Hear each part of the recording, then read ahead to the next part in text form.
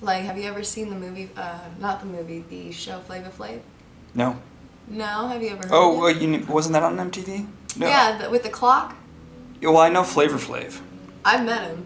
Really? Yeah. With In Public Vegas. Enemy, one of my favorite bands.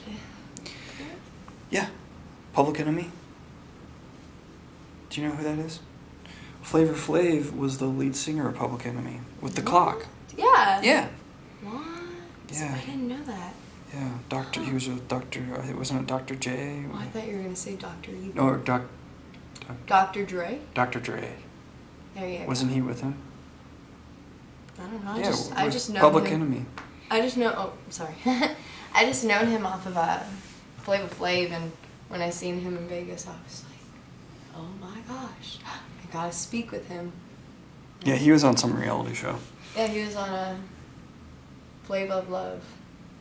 But he had some other thing where they, he had to live in a house with a bunch of other celebrities. They always turn out bad. Nobody ever gets along. Yeah. My gosh, man, as much TV. Well, I don't watch TV. Okay, that makes sense. That's sense. good. hmm It, TV is nothing but mind controlled. You should be proud of yourself. I am. I know. I don't. I, I think TV's for the, is nuts.